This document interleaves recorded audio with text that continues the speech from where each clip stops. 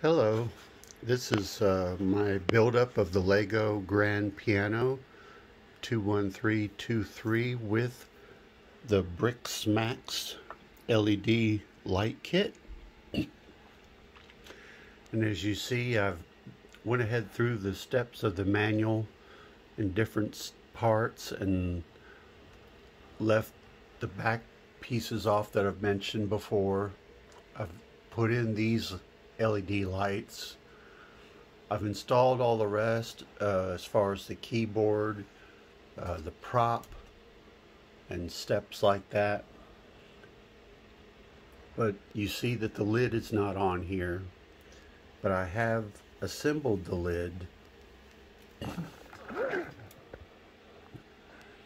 So here's the lid without the uh, the hinges and the supporting bars that you build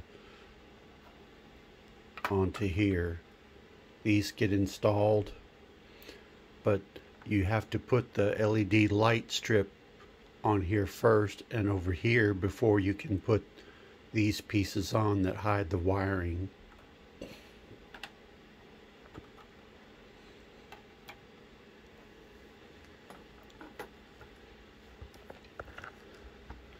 So then in the book, I've completed this step here, which also coincides with step 129 in the light kit, where they install LED strips up underneath underneath here.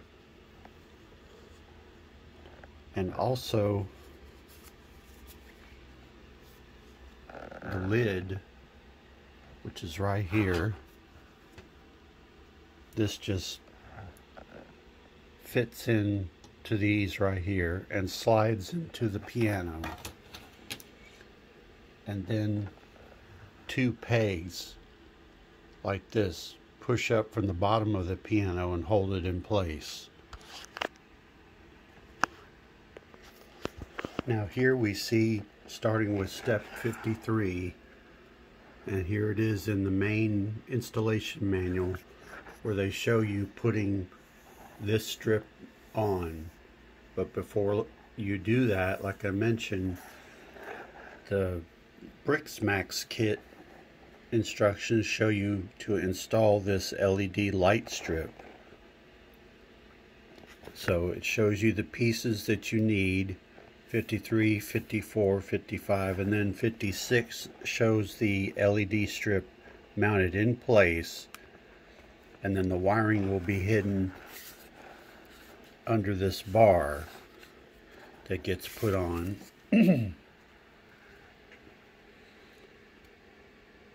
As you see here in 58 and 59.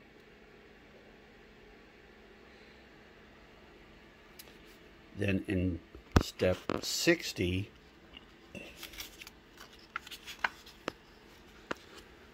they show you putting on the other light strip up in the top corner here and then feeding the wire through here and then they have you put that reinforcing piece back on and then it's ready to go back onto the piano in step 67 here in the master installation book from Lego, they show you putting the piano lid on. At this point, we'll already have our LED strips mounted here, and we can bring the wiring to right under here, where of course we have this piece, all these pieces taken off, so that we can install the wiring. Now then, also this music stand and top part of the piano has been partially assembled. Starting with it shows you how to do it up through step 705 706 707 and then 708 is where I stopped. And you'll see where I say leave these two bricks off and then this two-piece brick. And then also in the LED manual, it shows you the pictures here, even though they're a little hard to see in the book. But I've left them off to show you, hopefully, excuse me, what they look like. You have a long and a shorter smooth trim. You have these smooth top blocks. You have the two L-shaped pieces that go on the book music stand and the two square pieces that go over here and basically the LED will go on this L-shaped centerpiece and the wiring will be brought this way and through here and then it will you can reassemble it and put it back on the piano for the lights. So as you see on steps 101 and so on, they show you putting the LED right in the center where the piece of music will be, the music tile basically. And this LED will shine up on the music and illuminate it.